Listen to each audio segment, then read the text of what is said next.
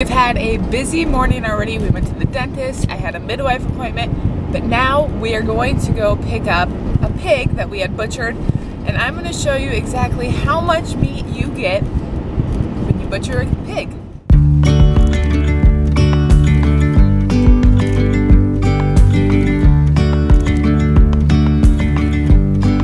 Just got home, get all the meat in the house and we are going to go through together to see what we got. Now, really quick, I'm to be a little self-conscious here because I went to the dentist and got a fill-in this morning and I'm still half numb. So if my face looks a little, eh, that's why. So we get two pigs every single year. This is actually the first time that I've gotten only one pig at a time. Normally I get them both at the same time. So this seems like a very little amount of meat to me. And I'm almost kind of scared. like I feel like I should have got a third pig. But we pay $350 to the person that raises the pig. They get $350 from us.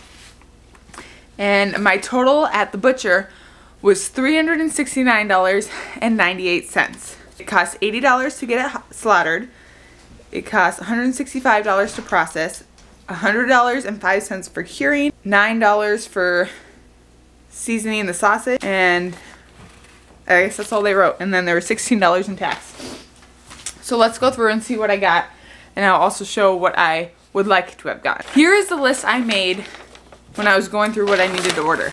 I wanted bacon, breakfast sausage, ground pork, hams. I didn't need very many roasts because I still have roast from last year. So I wanted to see if I could do ground pork instead of roast or maybe steaks instead of roast. I wanted my hams cured and smoked this year. Normally I don't. I wanted the ribs, tenderloin, cheddar brats, pork chops, leaf lard, the rest of the lard. I wanted whole feet so I could make broth and they won't do that. I wanted the hocks. Um, I did want either pork butt or Boston butt, whatever you call it. Those roasts I did want. And I wanted the organs saved. Called. This is what they could get me with the first pig. Second pig, I will get a few things that I didn't get from this pig. So first things first, I have got a giant box of lard. And this will be made into cooking fat. I do have a video where I show kind of a day of how I go through making my lard and rendering my lard. I will link that down below or up here if I can get it up there. So if you want to watch that and see how that process works, you can go check that out. First box. Okay. I have a big family. We go through a lot of bacon. So I think I got two pounds worth of bacon per package. So that gives me one, 12 two pound packages of bacon. two packages of the ends and the pieces. Pork shoulder butt steak, I got one, two, three, four, five of those. And I think I wanted, I think I told them four or five pounds per each one. But remember, I have a big family. So if you have a smaller family, you'll want to do two to three, three to four pounds. Nine packages of breakfast sausage. I thought I told them two pounds, but maybe I only got one pound. So one pound of sausage, nine, nine one pounders, and then three pounds of ground pork. I got eight smoked ham. And two packages of smoked pork hocks. I got 10 packages of pork chops with six chops per package at 3 fourths of an inch. I got two packages of spare ribs. I'm not sure exactly how much is in here.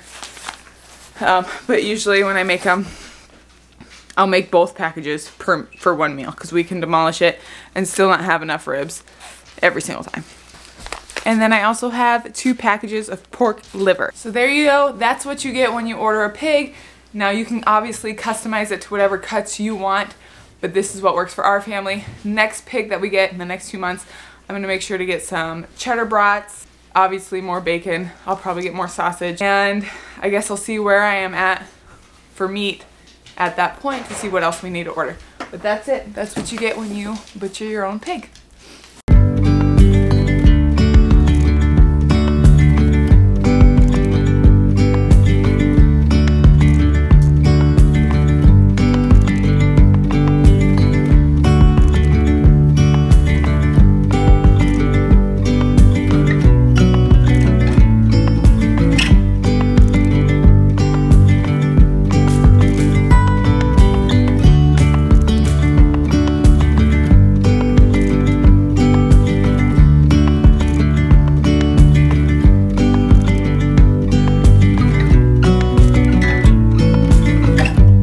You like this video, please hit the like button and don't forget to subscribe. I will see you next week.